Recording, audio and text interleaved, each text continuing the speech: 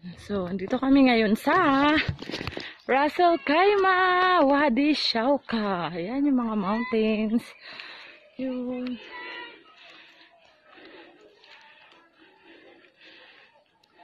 Anakit po namin yung mountain. Yan yung dam. Isa po ito ngayon sa mga tourist spots na pinupuntahan ng mga turista. Wadi, Shauka, Russell Kaima. Dito kami ngayon sa taas.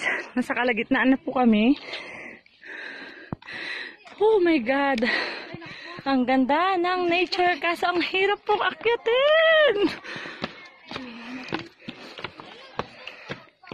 Makes me she makes me smile. It gives me chills, it makes me blush, it gives me work. And I can see her.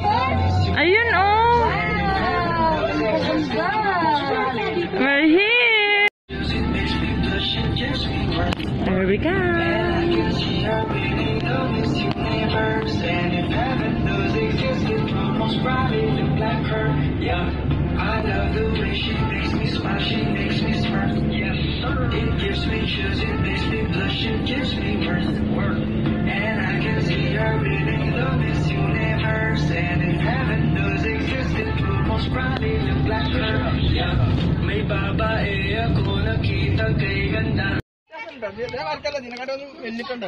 പാറയ്ക്ക് ഇത് പാറയ്ക്ക് ആ, ഇതിന് ഇല- ഇലക്കി ഇലക്കി കുറച്ചുകൂടെ അങ്ങനെ നൈസായിരിക്കും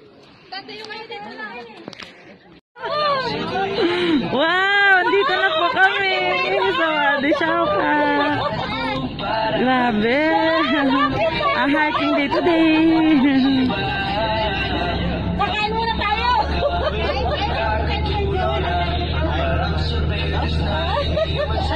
Guys. Hiking day today. At yan ang mga bundok na aakyatin namin. Dito kami ngayon sa Wadi Shauka. Nice. Maganda din pala.